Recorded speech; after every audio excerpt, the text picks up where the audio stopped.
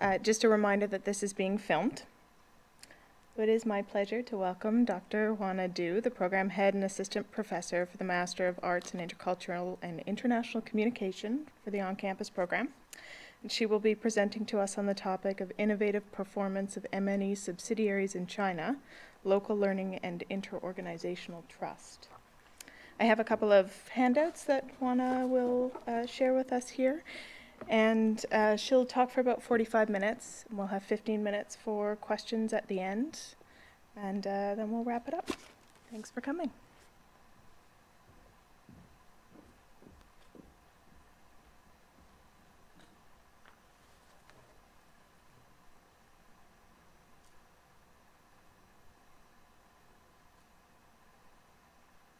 So thank you everybody for coming this research talk. Oh, okay. Juana uh, and uh, I'm from the School of Communication and Culture. And uh, it's a pleasure to be here today and to share some of my research findings and research experience on the topic uh, innovative performance of multinational enterprise subsidiaries in China. So. um, uh, before I'm going to talk about my research findings and experience, I would like to spend a couple of minutes to let you know how I started to get interested in this topic and start my research in this area. And uh, meanwhile, I welcome all of the questions and input from you. So if you have any questions, please feel free to let me know. And we can have a little bit of discussion about those topics I, I discussed. So here is a little bit background information how I got started in, in research in this area. So in 2011, I got a chance to be invited to, uh, to participate in a research and a consultancy project with a multinational corporation. And the project was funded by this multinational corporation, which is a family business. So it has a lot of subsidiaries all over the world, and this research project is really about innovation and the corporate culture, uh, which is, uh, which is uh, very directly related to their family culture because it's a family business. Uh, so the family is quite interested to know what is the real practice in their subsidiaries all over the world, and they would like to know what are those differences, what are those values in those uh, different subsidiary and, uh, and the factories in different areas. So that's how we, as a researcher, as a, uh, and also as a kind of consultant to, to get involved in this pro project.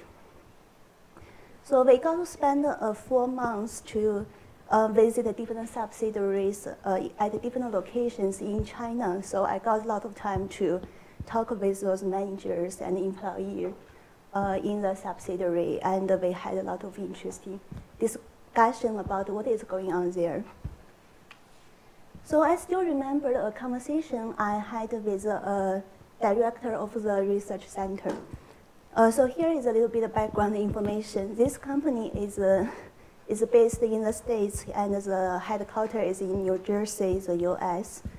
And uh, at that time, when I got involved in this project, it, uh, the company just acquired another French pet care company.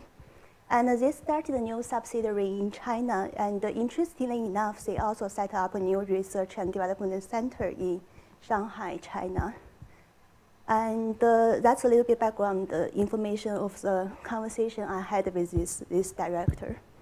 So this French pet care company has a very strong research-oriented corporate culture. And they have very uh, strong tradition to do scientific research about those ingredients and uh, uh, and the recipes of the pet care product or dog food or, or cat food. So at that time, people have a lot of great expectations about what is going to happen in this new research uh, center in Asia, in China, considering this is the only research center set up in China. And they also have different research center in North America and in Europe, and also they had one in Brazil. So this is, we can see they, they really have very strong research-oriented uh, corporate culture. So I had this very interesting conversation with the director of the research center. And he told me that uh, it has been a year since the research center started in, Bei in Shanghai, China. And uh, the only project they got involved is to collaborate with marketing department. And the new ideas they come up is about how to better packaging the pet care food in Chinese market.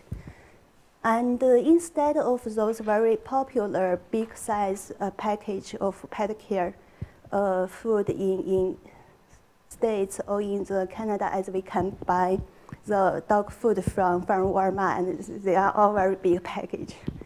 So they got some interesting idea about how to better packaging the pet care food in China, and they uh, they they got the solution that it's better to have much more small smaller package for those pet care food.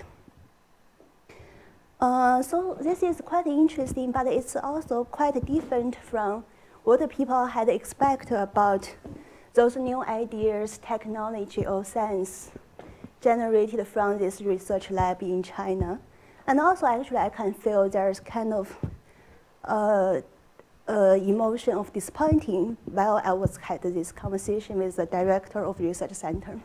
But this story is very true. This is what is happening in those research centers in, uh, in those uh, developing market, or we call that emerging economies. And uh, this is also the point I started to get very interested in this topic, and I would like to do more research to figure out what is going on there, and how those subsidiaries can better use the local results to, uh, to facilitate their local learning and to develop new technology, new knowledge, uh, and uh, to, to help them to de deploy the innovative capability in subsidiary, and then they can share the the practice with the other subsidiary and also the headquarters. Uh, so this is a little bit the background of the research. So in last two decades, there are quite a lot of research on subsidiary innovation of multinational enterprise, which is a very interesting topic. And the more traditional view will regard the the subsidiaries, especially in the emerging market, as a, as a source of cheap labor and the local market to, to save the, the cost. And also there are more and more researchers start to pay attention to uh, subsidiary innovation and to regard it as a source of innovativeness for the multinational enterprise. So what has been happening is a lot of subsidiaries start to take initiatives to develop those new ideas, knowledge, and technology in responding to the needs from the local market uh, to, to make their product or service better meet the, the needs of the local market. And instead of being part of the research center of the whole company or being part of the uh, the research center at the headquarters, they also work on their own and to develop some new ideas, take initiatives to do research, which is quite interesting. And most of the country research uh, uh, very much focus on the context of developed countries, and there are not a lot research, especially for empirical studying, has been conducted in emerging market.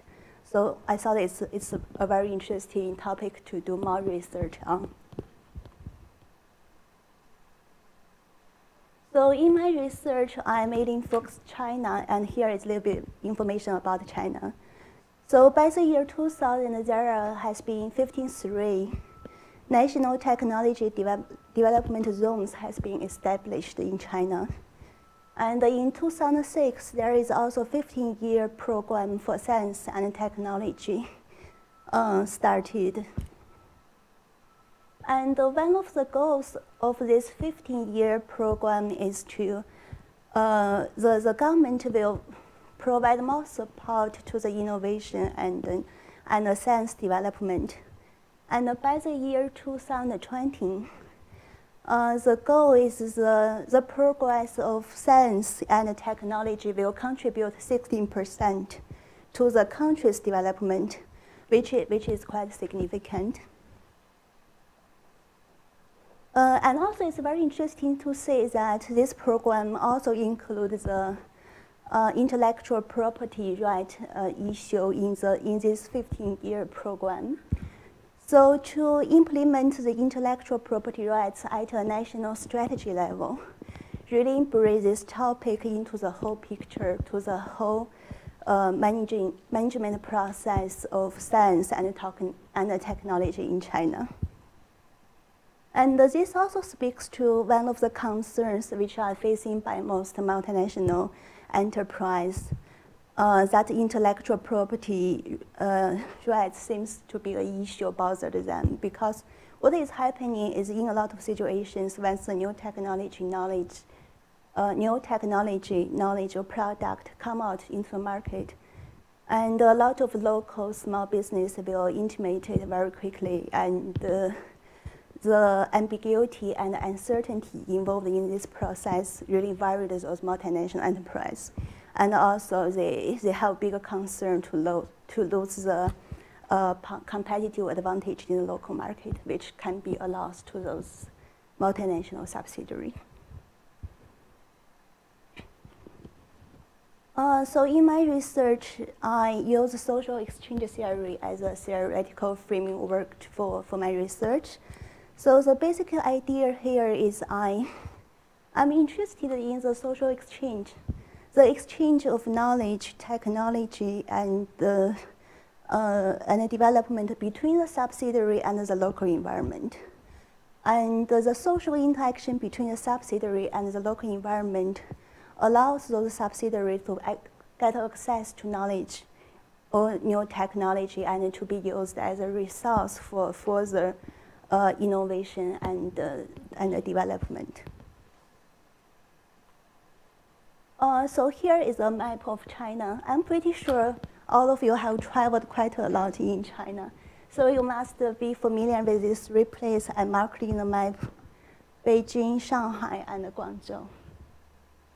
Right, so I'm pretty sure you all know some information about these three locations. So those three locations are also I'm doing research. Actually, these three cities are the top three cities which received foreign direct investment uh, in the last 10 years. And from 2002 to, 2010, to 2012, in these 10 years, uh, these three cities are also the top, top three uh, GDPs in China. And we all know that China, uh, Beijing is the capital city, so basically it's the center of everything, the uh, the political resources and uh, support and uh, cultural and social resources. And uh, uh, Shanghai at the east of China, it's located as the Changjiang River Delta Economic Zone, which is very close to Hangzhou and uh, Suzhou. And actually, Shanghai is the largest city in China by population. And can you make a guess how much is the population in Shanghai?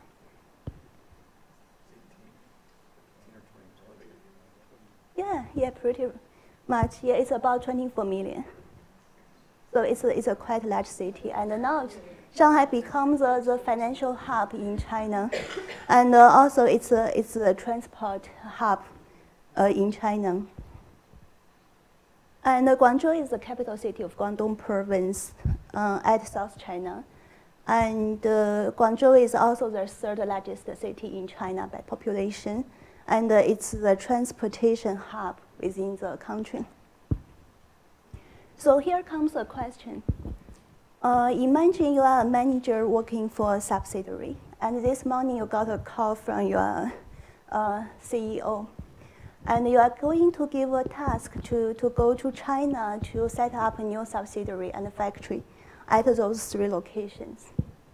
So which one are you going to choose? And while you are going to make this decision, what factors are you going to consider? That you believe those factors will influence your decision about the location of the subsidiary. Or as a researcher, what kind of suggestions we can give to those managers to help them to make a better, to make a more wise business uh, decision This is also the question I'm very much interested in to answer in, in my research. So here is a little bit more uh, background information about these three cities. And if we are going to compare the GDP, the economic makeup of these three different locations, then we can say that, um, speaking of Beijing, uh, the tertiary in industry play a very important role in the local economy makeup of Beijing. And uh, in particular, the scientific research, technology service, and geographic prospecting takes a very big portion. And if we are going to compare the local economic makeup of Beijing with Shanghai and Guangzhou, then we can see that the local economy is pretty much dominated by the primary industry and the secondary industry. And if we take a close look at the scientific research and technology service, uh, this line, we can see that it didn't take a big portion in, uh, in the local economy makeup of Shanghai and Guangzhou. And here is another table shows a little bit of differences between Beijing, Shanghai, and Guangzhou. So if we look at the national intellectual property right demonstration city, and we can see that actually the Guangzhou is a little bit advanced than Beijing and Shanghai.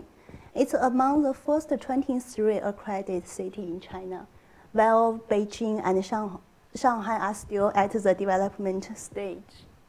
So which means actually the local, the municipal uh, government of the uh, Guangzhou actually did a much better job in, in this area. And what is more interesting is if we are going to compare the number of universities at those three different locations, uh, then we can see that uh, the number of universities in Beijing is, is quite a lot. There are about 100 universities, both at the central government level and, and the provincial control, which is not out of expectation. But if we look at Shanghai, uh, there are about 61 universities, and there are a lot of universities are of very high quality. What is interesting here is uh, really about Guangzhou. Because we only see there are three university and the Ministry of Education of the central government. However, there are about 96 local universities and the provincial control, which actually is a little bit surprising to, to me. So those are some very interesting background information of those three locations. And uh, in my research, uh, in particular, I look at two different factors, and I believe they will have a strong impact uh, on the innovative subsidiary. One is about trust. So when we talk about doing business with Chinese company, with the Chinese business culture, people always talk about 关系. Basically, it's a relationship. You have to build a relationship with your business partner and to be trust to, uh, to each other, and then you can be better uh, engaged in the uh, information sharing and to, to collaborate on the project. And uh, in a lot of situations, we discuss trust between individuals, and here I'm more interested to see the inter-organizational trust at an organizational level. So basically, I'm looking at the inter-organizational trust between the subsidiary and their local business partner. And, uh, and also there are quite a lot of uh, discussion about the important role of inter-organizational trust. So built upon that, I have a hypothesis, uh, and I believe there is a positive connection between the inter-organizational trust and the innovative performance of subsidiary. And another factor I'm very interested to look at is the local learning. Uh, so as, as we just discussed that the nature of the local environment uh, will have a big impact on uh, to what extent the subsidiary can learn and how this local learning, knowledge can be used to develop new technology and service. And this idea is also at the center stage of, uh, in the field of economic geogra geography and international business literature. So built upon that, uh, I had uh, developed two other hypotheses. The second hypothesis, I believe that the local learning will have a significant impact on the innovative performance, only in the location where it's characterized uh, inten uh, knowledge intensive and uh, innovative economy, but not in the other locations which the local economy is dominated by the primary and secondary industry. And also I would expect to see the interaction between the trust and local learning. And this interaction will have a strong impact on the innovative performance. Uh, so to provide some support to my hypothesis, I did a survey. And there are about 300 uh, questionnaires uh, included in the final sample for this study, and I distribute questionnaires in the subsidiary in Beijing, Shanghai, and Guangzhou, the three locations we just mentioned. And here is a little bit of background information about those, uh, those subsidiaries. Uh, in terms of their size, their age, and also their function. So those subsidiaries uh, both include manufacturing and service. So here is some statistic results. So what I have found from this research is, and what I would like to share here is three findings. The first one is I identified trust matters across the, the whole country. In other words, the inter-organizational trust is a very important factor in China, no matter where the location of the subsidiary is. And I also find that the effect of local learning is very much location specific. In other words, to what, extent the subsidiary can learn from the local environment, can use the local resources, can be location specific which might provide some implications for the managers to really think about the local uh, institutional environment, the local business culture, or the local uh, e economic makeup. And the, the third finding is about the interaction between trust and local learning. So certain uh, locations can exhibit an interaction between trust and local learning. And uh, this interaction can boost uh, innovative performance in the subsidiary. So these are mainly the research findings I've, I got from the first stage of research. And then the question would be, yes, we know trust is important, we know local learning is important, and then what? What are the implications for us as a researcher and also for managers? And how does trust matters and what is the dynamic, what is the uh, process for local learning happen in different locations. And uh, I was trying to answer those questions and uh, here uh, is the research question I got for my, uh, for my second stage research. So the general question guide my research at second stage is how does trust in inter-organizational relationships between a subsidiary and local partners in different locations in China influence innovative performance of the subsidiary?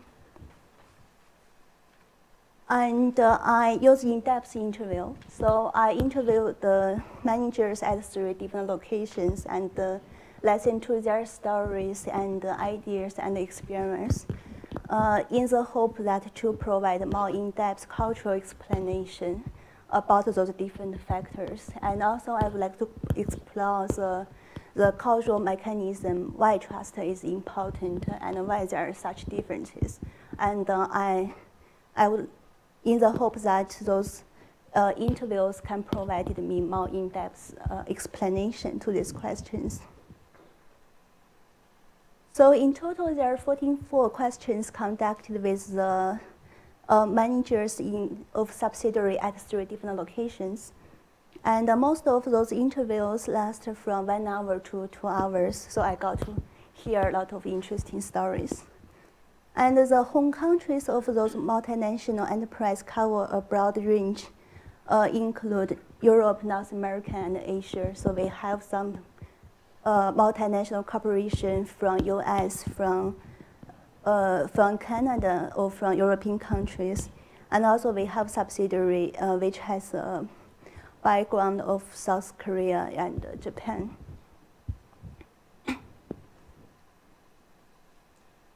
So as we just discussed, inter-organizational trust is very important. And uh, I'm curious to know, is there any differences, differences uh, if, we, if we're talking about the location? And actually, I did find some differences. So I, I discussed that with a business development manager uh, at Beijing. And he says like that, the inter-organizational trust is a two-way and long-term relationship, and both parties behave with goodwill and would not take advantage of the other. Oh, sorry.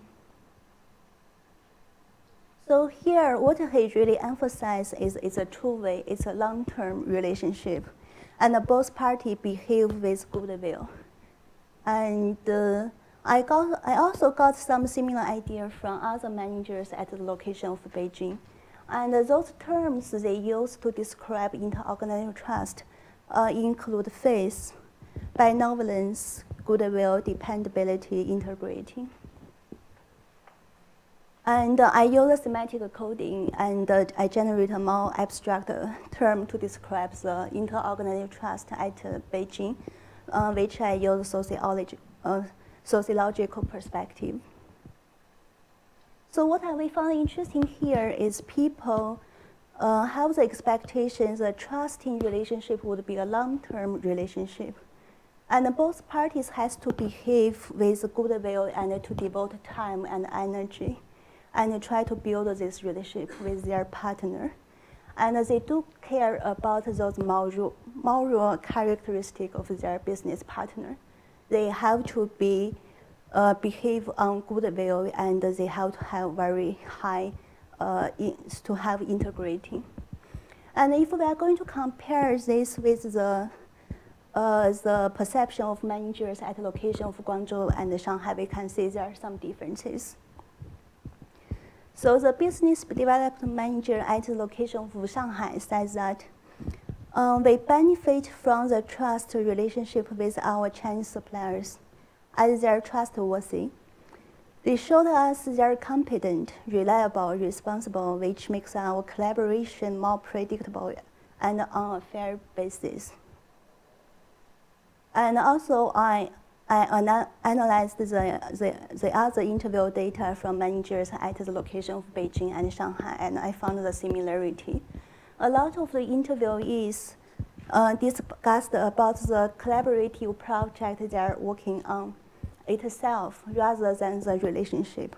In other words, it's more like a short-term relationship, and the emphasis is really the whether the project is successful or not, whether we can get out uh, what we can get out from this project and uh, is there any uh, immediate benefit and, uh, and if we can make profit of this project?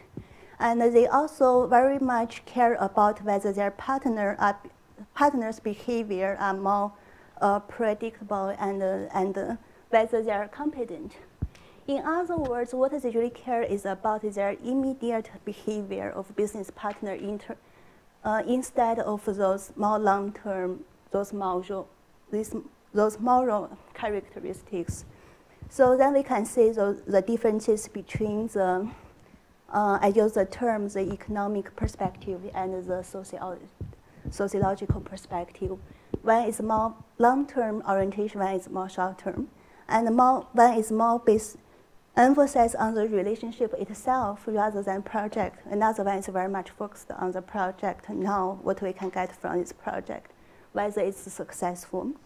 And also they emphasize different uh, characteristics of their business partner, whether they're competent, whether they behave, uh, their behavior are predictable in a short term, or they are really very good business partner, have moral characteristics and uh, integrity. So I, it's interesting to know those differences between different locations, and then my next question is really about why there are such differences. Uh, what factors, what reasons can can help to, ex to explain those differences at three locations. And uh, I did find several explanations from the interview transcript. And one of the reasons I want to discuss here is about uh, intellectual property right and uh, regulative environment at the three different locations.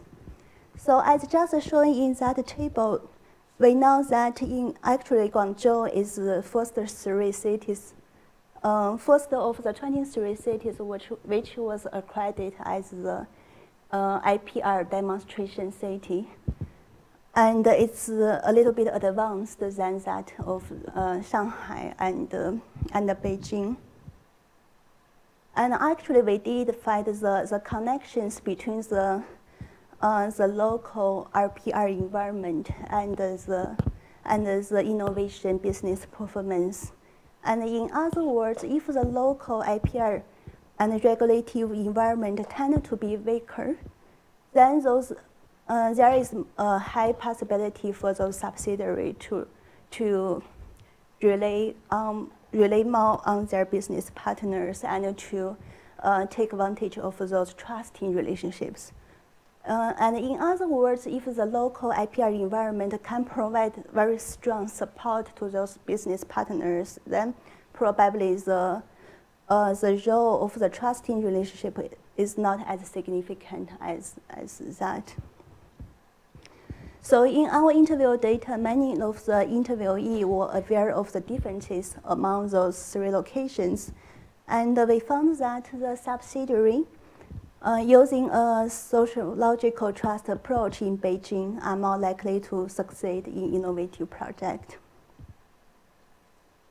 And uh, another factor which I found interesting is about the industry and professional association. So we have an interview, interviewee says that uh, we established relationships with our Chinese partners through Chinese American Petroleum Association. Uh, this helped us to trust our local partners as we understand that our partners are well connected with this association and uh, were quite active in events hosted by the association for several de decades.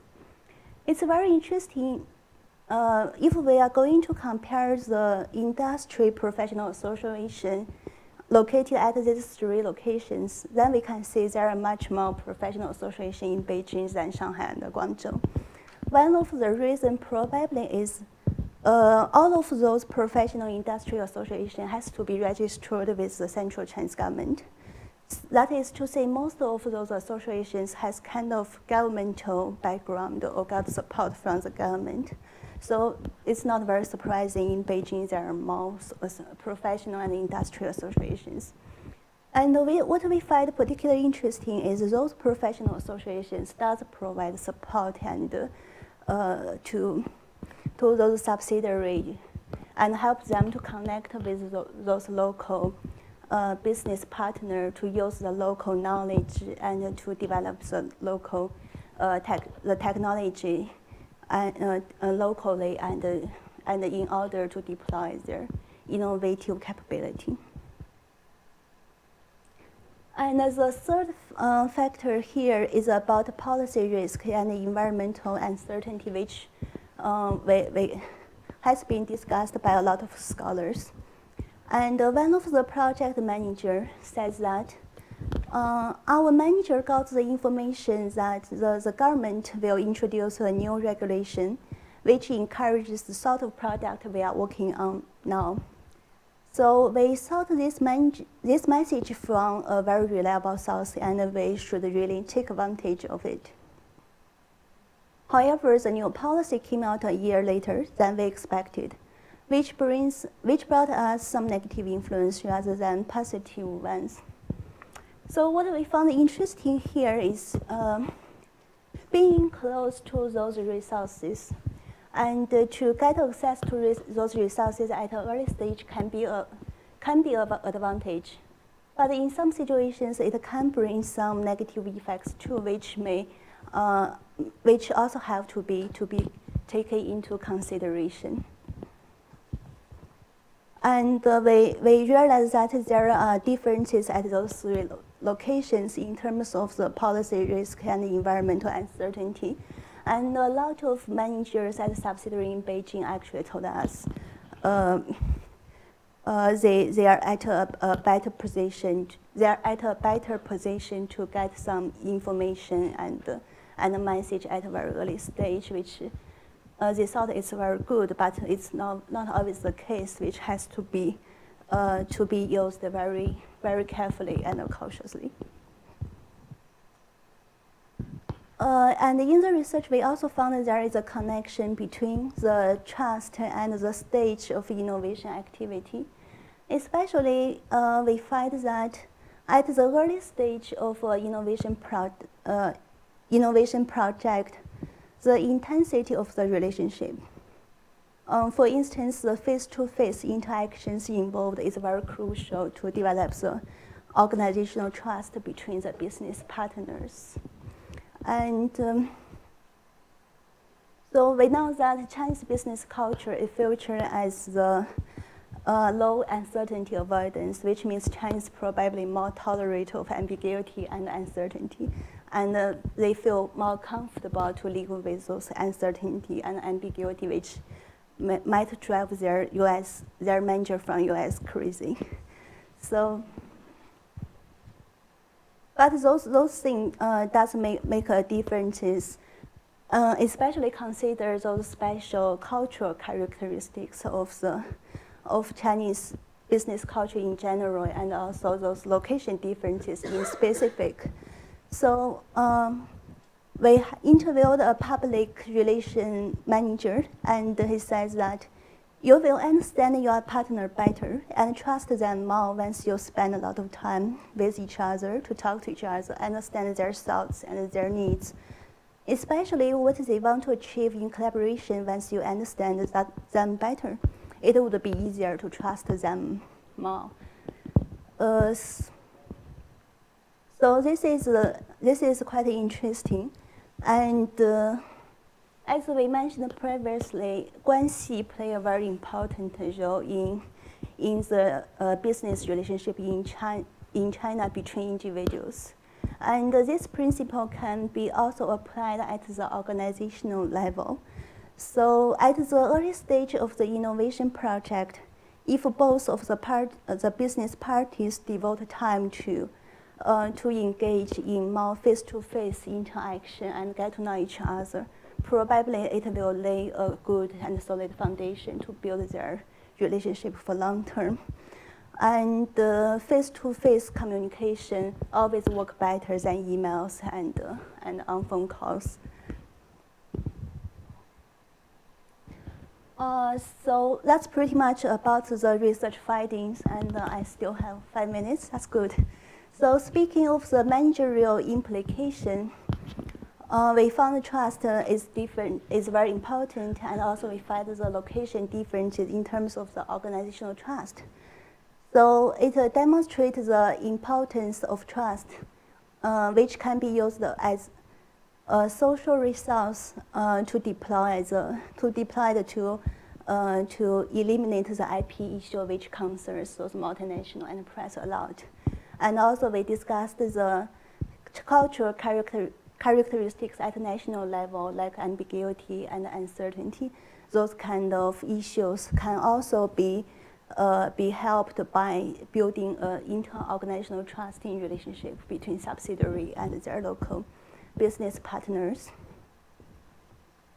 And uh, speaking of the location, the, uh, the managers of the subsidiary uh, needed to pay attention to the uh, to what extent the local economy is, is a knowledge-intensive economy, it's an innovative uh, economy. So Um, therefore, they can really uh, use the local resource and to to for more knowledge sharing and developing new ideas, technology, and knowledge.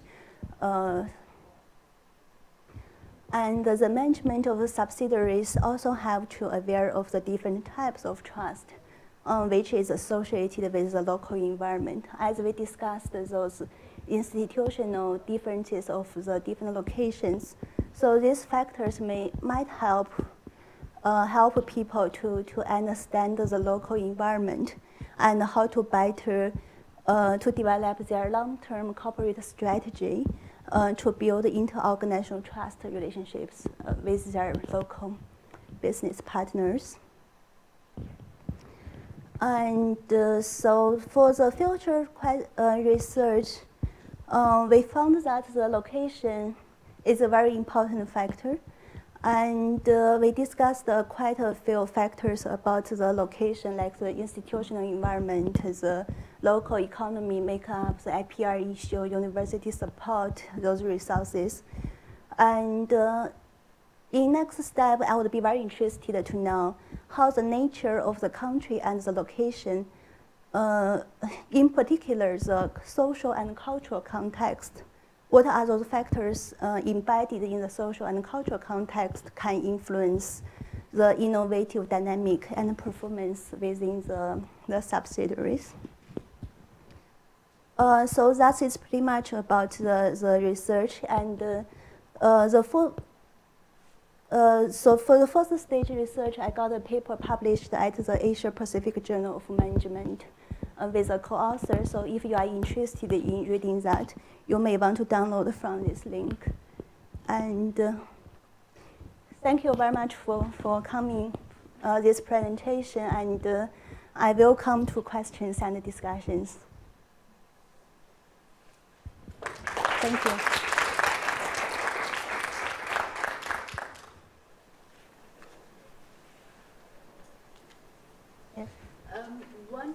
thank you very much for a very interesting presentation. Thank you. Um, I lived in China for five years in. Xiamen.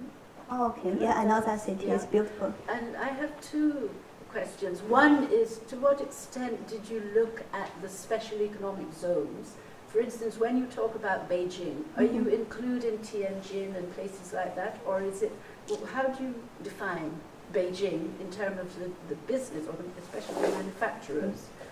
Um, yeah, so I, I discussed those I discussed this location in a narrow sense that Beijing, the city of Beijing, Shanghai, and Guangzhou. But it was quite interesting, as you just mentioned. Uh, Shanghai is at the Yang, uh, Yangtze River Delta Economic Zone. Suzhou and Hangzhou, yes, but I didn't include that in my in my data. And also Guangzhou is at the uh, the Zhujiang Delta Economic Development Zone, and I'm pretty sure there are a lot of uh, uh, like regulative or institutional support for those economic zone. Yeah, but I didn't discuss that uh, in details. Yeah. Yes. The second question I have, which is sort of related to that, is the people you interviewed, or rather the local partners to what extent are they actually state-owned enterprises, wh whether at the federal level state-owned or whether it's municipally owned? Because in my experience, mm -hmm. an awful lot of the companies were actually and still are owned by the government. Did you make a uh, distinction so between those that were privately owned, which is a new sort of growth area. Right. So the managers I interviewed in my in my research is manager from subsidiary of multinational corporation. Yeah. And I invite them to discuss about their experience working with a local business partner. Mm -hmm. And I use the term local business partner in a very broad sense, which can include their suppliers, their local agent, their uh, government, or the different yeah, business partners. Yes, yes, they do have a background. Yeah. Thank you. Thank you very much for the presentation. Very interesting. I just have also two questions. Have you mm-hmm. considered the differences across industries when you are doing this research? So we know we know you know different in industries will have different way to deal with innovation? Yeah, that's a very interesting question, and I know there's a lot of discussion about the those industry differences, and uh, I didn't take uh, industry differences into consideration in my research, mainly for a practical reason, because I did a survey at the first stage of research, and I would like to have a large sample, so it's not easy to recruit the multinational enterprise from a particular industry. So I look at uh, the, the companies uh, working in different industries. And another reason is nowadays uh, many multinational corporations start to, to uh, expand their boundaries and uh, in a lot of situations they, they are cover several different industries, especially in the foreign market in like uh, emerging economies and uh, some of them may might cross those um, industry differences, I mean, in strict sense. So that's also a reason I didn't uh, uh, think about that very, very uh, carefully. Yeah. Uh, the second question about this, I know it's ongoing research question, and, and have you developed tools, measures to measure innovation? Uh, how, how, how do you measure innovation? So the term I use innovation is, a, is in a broad sense. So not only the product, but also the new ideas and uh, technologies are included. And also I look at uh, those new procedure and the new services uh, developed by those local subsidiaries. And I also include that in, in, the, in the umbrella of innovation. So, so it uh, includes both technology and uh, service and uh, procedure, not really about product and technology yeah, it's a more broad sense. Thank you for your question. Yes. I was going to ask, uh, so I'm quite interested in the intellectual property rights issues that you touched upon, Mm -hmm. and also some of the work, uh, for example, I, I did where, so intellectual property rights are established at a national level, but you're implying that the intellectual property rights differ between the different cities in the sense of perhaps there's different levels of enforcement of intellectual property rights across different jurisdictions. Um, but these would normally be, be rights that are set for the whole country, is that? Uh, so for the 15-year uh, program of science and technology, uh, it's very interesting to say actually uh, it probably the first time for the for the country to set it up at national level uh, to expedite the, the, the, process, the, the progress of intellectual property. But there are still the, the location differences. If we're looking at uh, the IPR demonstration city, um, which is accredited by the central Chinese government, they have a whole bunch of criteria and assess assessment criteria to evaluate what stage are you on.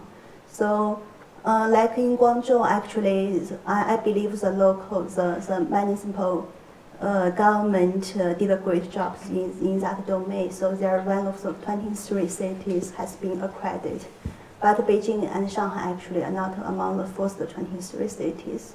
So, so if we look closely at the implementation, implementation procedure of IPR, we still can see the location differences, which is kind of related to their municipal government.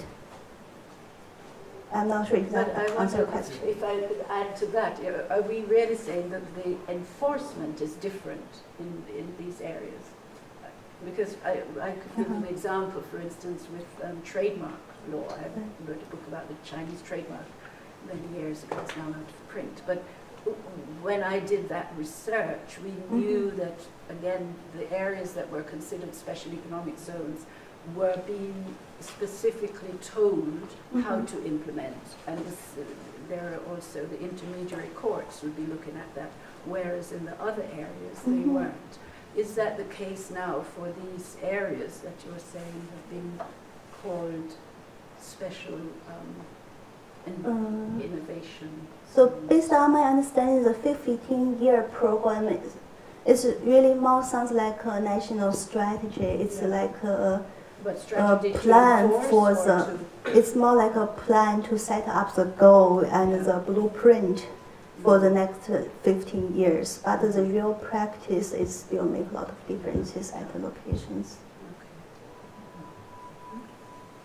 Great. Yes, Um, thank you. You made a very clear distinction between Shanghai and Beijing, where Shanghai was more the economic perspective and Beijing was more the sociological, but I wasn't sure where Guangzhou fit in, because you gave those two very clearly. All right. But where yes. does Guangzhou fit? Because So, that, that one I don't have experience with. right, so uh, based on my observation from the interview data, uh, the situation in Shanghai is kind of similar to Guangzhou. They're both like short-term oriented and more emphasis on the short-term profit. And uh, so I use both the, I use the economic perspective for both the, the cities. Yeah. But the, the, pro, the example I provided is mainly from Shanghai. Okay, Yeah. thank you. Thank you. Yes, please. I was also interested in how you defined and determined uh, innovative performance, but especially as you applied it, you had two hypotheses that specifically explored the relationship between trust and, and performance. Were you able to test those hypotheses, what was the conclusion? Oh, sure, yes. So the measurement I used to measure innovative performance is adopted from previous research. And there are three items included in this measurement. And uh, they're about the, the product, service, and the procedure. And those items are also included in my transcript if you want to take a look. Uh, I, I mean, the manuscript.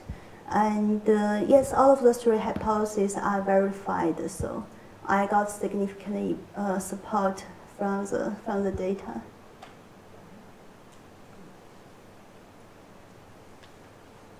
Yeah, thank you very much, everyone, for, for coming into this section, and uh, thanks for your input and questions. That's really very helpful. Thanks.